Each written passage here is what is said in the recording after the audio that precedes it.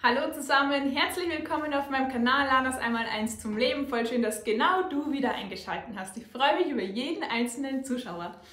Heute möchte ich mit dir das Thema, du hast es bestimmt schon gelesen, innere Unruhe, Stress, ähm, Unausgeglichenheit. Diese Themen möchte ich gerne mit dir besprechen, weil ich finde, ich sehe in unserer Gesellschaft immer mehr Leute, die super gestresst sind.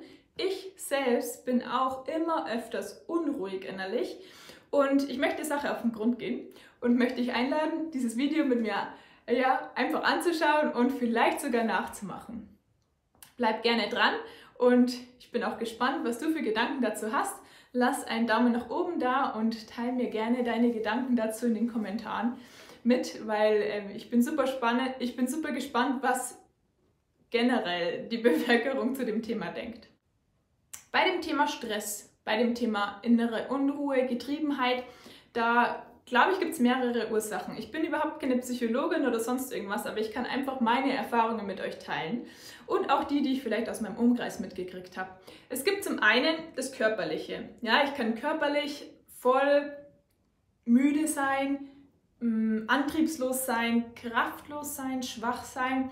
Und das kann Ursachen haben wie zum Beispiel ein Hormonmangel, ein Nährstoffemangel. Das hatte ich zum Beispiel mal. Ich hatte einfach einen Eisenmangel und habe das dann mit meinem Arzt besprochen und Blutbild machen lassen und konnte dem gegenwirken. Es gibt aber auch das Thema, dass die Schilddrüse vielleicht schuld ist daran, dass man ein bisschen schlapper einfach ist. Es kann aber auch sein, dass man zu viel Sport macht. Ja, wenn man jeden Tag zwei Stunden Vollgas trainiert, dann kann das den Körper stressen es kann aber auch genau das Gegenteil sein, dass ich gar keinen Sport mache, meinen Körper gar nicht bewege und der gar nicht weiß, wohin mit, meinen ganzen, mit meiner ganzen Energie, mit meinen Nährstoffen, die ich durch die Nahrung aufnehme. Das kann auch ein Grund für Stress sein. Stress wird ja auch abgebaut durch Bewegung. Oder es kann auch sein, dass du zum Beispiel Schlafstörungen hast, zu wenig Schlaf hast, mm, dass du vielleicht zu wenig isst. Und da meine Bitte an dich, Sprech gerne mit deinem Arzt, wenn du glaubst, dass das eine Ursache sein könnte für deine Antriebslosigkeit. Diese Themen möchte ich nämlich heute eigentlich nicht bespielen, sondern ich möchte mich mehr um den Kopf, um das Herz, um die Seele kümmern. Denn das ist auch was, was ich hauptsächlich in unserer Gesellschaft sehe, dass wir im Kopf unruhig sind, dass unsere Seelen getrieben sind und meine auch. Und deswegen möchte ich ähm, einfach euch mit mein, mit in meine Gedanken mitnehmen und auch in ein Selbstexperiment. Zuerst meine Gedanken, bevor es dann zum Experiment kommt. Und zwar merke ich, dass es mir total gut tut oder dass ich mehr unruhig bin, wenn ich weniger in der Natur, beziehungsweise wenn ich viel draußen bin, spazieren gehe, laufen gehe, auf den Berg gehe, dann bin ich viel ausgeglichener. Und ich glaube, das hat was zu tun mit unseren Decken. ja? Also wenn ich in einem Raum bin, in einem Haus bin, in der Arbeit, zu Hause, wo auch immer, dann habe ich immer meinen Horizont gedeckelt. Ja? Ich hab, bin immer irgendwie eingeengt von den Wänden, von der Decke und ich habe oft gar keine Möglichkeit, da auszubrechen. Und ich glaube, wenn wir mal draußen sind und einfach mal Möglichkeiten haben, den freien Horizont zu haben, nur den Himmel über uns zu haben oder nur die Sterne und um uns herum Natur haben, dann bringt uns das auf andere Gedanken und ich glaube, unsere Seele kann dann einfach auch mal ein bisschen besser durchatmen. Ein anderes Thema, glaube ich, könnte sein, dass man zu wenig Ruhephasen einplant. Ja, du hast richtig gehört, planen muss man manchmal die Ruhe. So schnell geht Zeit für mich, Zeit für mein Herz unter in dem ganzen Alltagswahnsinn. Mein Mann und ich, wir machen das immer so, dass wir den Sonntag als Ruhetag sehen. Ja? Und das ist ein göttliches, biblisches Prinzip, das wir da verfolgen. Wir glauben an die Bibel und wir glauben an Gott und er hat in sechs Tagen die Erde geschaffen, deswegen ähm, und am siebten Tag ausgeruht. Wenn er das gemacht hat, dann brauche ich doch erst recht diese Ruhe. Und wir versuchen, wir machen das nicht super streng, ja, aber wir versuchen zum Beispiel keine Waschmaschine anzuschalten am Sonntag. Wir versuchen den Staubsauger nicht in die Hand zu nehmen. Wenn jetzt irgendwo was ist, klar nimmst du ihn in die Hand. Und freilich, du musst auch kochen und du musst die Spülmaschine auch machen. Aber einfach so kleine Sachen sind es dann oft, die dich hindern, da diesen Tag voll zu packen und zu beschäftigen. Oder zum Beispiel habe ich so eingestellt, dass mein YouTube Studios App auf meinem Handy am Sonntag nicht aufgehen kann. Da habe ich so ein Limit eingestellt ähm, und da kann ich gar nicht darauf zugreifen am Sonntag. Und das tut mir voll gut, da einfach einen Tag nicht dran zu denken. So, dann ähm, glaube ich, dass ein Thema ist, warum man oft unruhig ist, diese Dauerbeschallung. Ist dir das schon mal aufgefallen?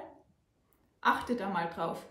Sobald irgendwie Ruhe ist, machen wir Musik an, machen wir den Radio an, machen wir einen Podcast an, schauen wir irgendwelche Reels, schauen wir irgendwelche Videos an. Voll schön, dass du jetzt mein Video anschaust, aber wenn du merkst, es stresst dich gerade eigentlich mehr, als dass es dich zur Ruhe bringt, dann schalt aus. Ja, das sage ich, schadet meinem YouTube-Kanal, aber dann schalt aus. Nein, ganz im Ernst, wenn du in der Früh aufstehst, wie geht's dir dann? Mir geht es dann so, dass ich mein Handy in die Hand nehme und irgendwelche Instagram-Stories nachschaue. Dann, ähm, während ich mich fertig mache, lasse ich oft irgendein YouTube-Video laufen, steige ins Auto, höre Radio oder Spotify und dann bin ich in der Arbeit, habe dauernd das Telefon oder Kollegen in meinem Ohr, Kundentermine und dann fahre ich wieder heim, Radio, schalte meinen Herd an, koche irgendwas, währenddessen lasse ich mich wieder berieseln, lasse über meine JBL-Box irgendwelche Musik laufen und abends flacke ich mich dann entweder vors Handy, schaue YouTube-Videos wieder an oder irgendwas auf Netflix, Amazon Prime oder dergleichen. Wir werden gefühlt dauerbeschallt. Auch selbst manchmal, wenn ich spazieren gehe, tue ich mir meine Ohrstöpsel ins Ohr hauen und irgendwelche schöne Musik anhören. Ja, die ist schön. Und ja, die bringt mich vielleicht runter. Aber manchmal müssen wir es auch aushalten, glaube ich, Ruhe zu haben und Ruhe zu genießen. Und ich sage bewusst aushalten, weil es ist nicht mehr so einfach. Das können viele Leute nicht mehr. Ich merke das ja selber, dass ich dann immer etwas vermisse, aber dass wir wieder bewusst Ruhe aushalten. Genau, das ist ein Thema und eigentlich geht einher damit dieser ständige, dieser ständige Konsum, den, den wir haben. Ständig konsumiere ich Leben von anderen Menschen oder auch von fiktiven Menschen. Und was macht es in mir? Ich vergleiche mich dann automatisch damit. Ich liebe Social Media, ja. Ich liebe das, wie, man, wie vernetzt man da sein kann, wie leicht man an Informationen kommt, wie gute Tutorials da mittlerweile gibt. Und ich bin auch voll gern präsent auf, diese, auf diesem Kanal.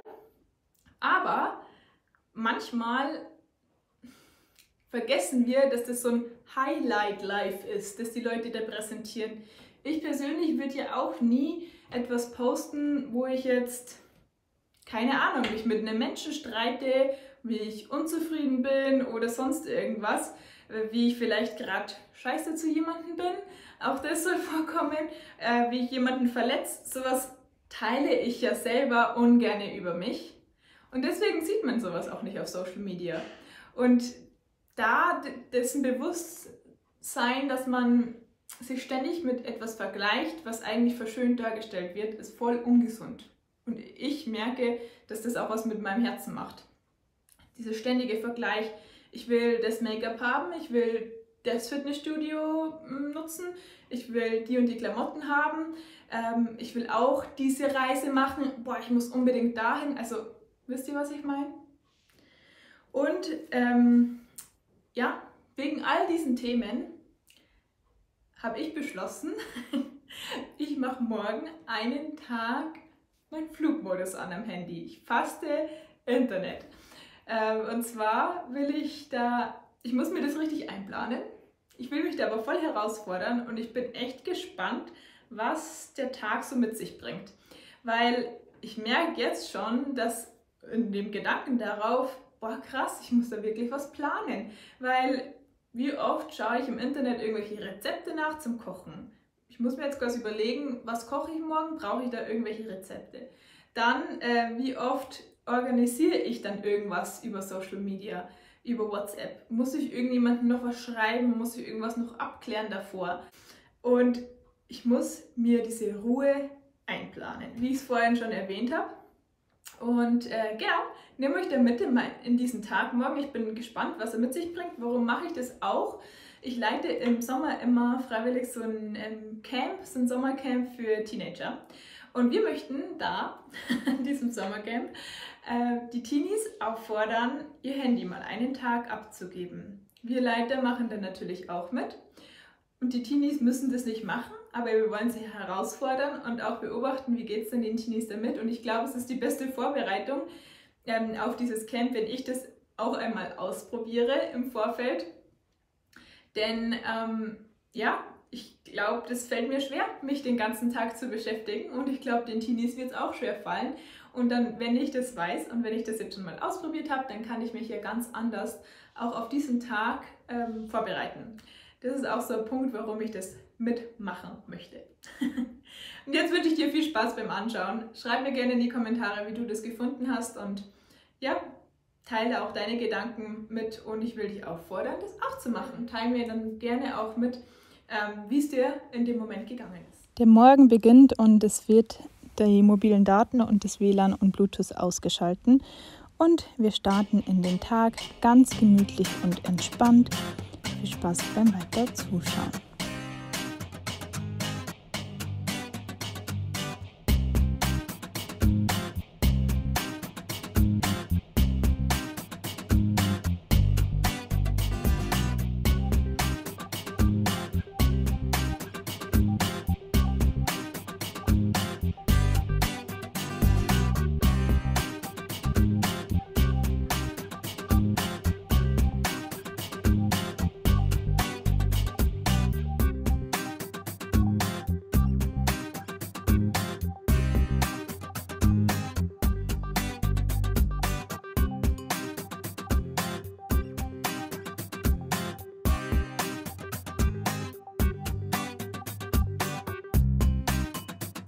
Was mir immer noch total hilft, ist, wenn ich mir eine To-Do-Liste mache oder auch meine Termine und meine To-Dos für die nächsten Tage strukturiert in Kalender aufschreibe.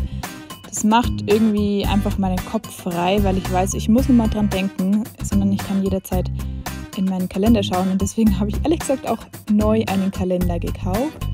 Und was ich auch finde, was ähm, total Auswirkungen auf den Kopf hat, ist, wenn man sein Bett macht. Ähm, ist eigentlich so eine kleine Aufgabe, aber trotzdem tut sie gut, wenn man dann ins Schlafzimmer kommt und man sieht ein sauberes Bett und natürlich frische Luft und Natur.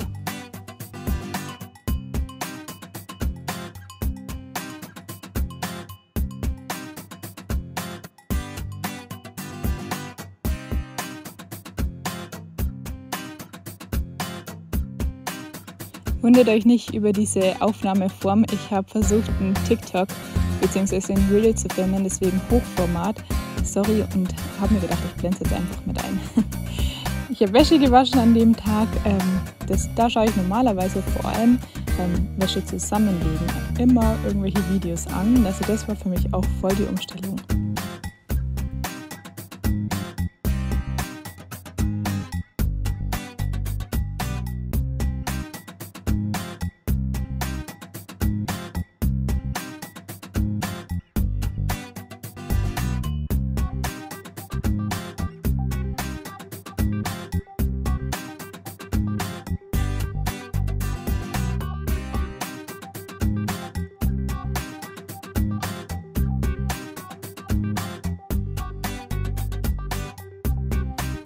Und ich habe einen ganzen Sack Klamotten ausgemistet. Das hat auch meinem Kopf irgendwie gut getan. Und dann war ich zum Schluss nochmal spazieren.